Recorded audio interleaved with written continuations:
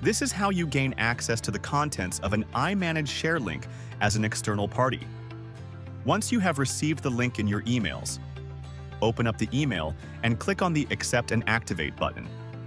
This will lead you to the Activate Your Account screen. To continue, you will need to choose a password for your iManage Share account.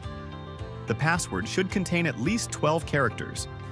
This includes at least one uppercase character, at least one lowercase character, and one special character which could also be a number.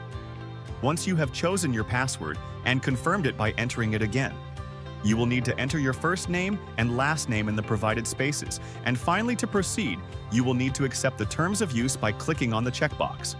Once you click Submit, your account will be created. The following sign-in screen will require you to input the email which the initial link was sent to, and your recently created password to be able to access the share folder.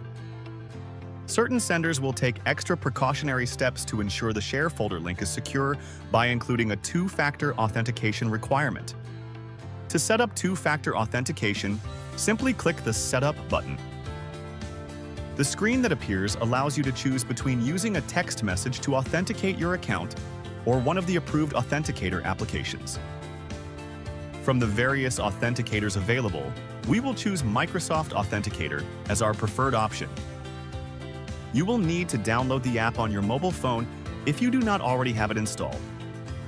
Once you have signed into the Authenticator app, add a new account by clicking the Addition button at the top of your screen. To complete the two-factor authentication setup, you will be prompted to scan the QR code on your screen.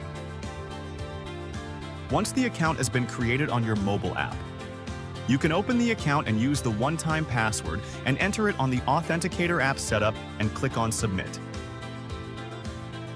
With access to the shared folder, you can view the contents, edit documents, save new versions, and create folders.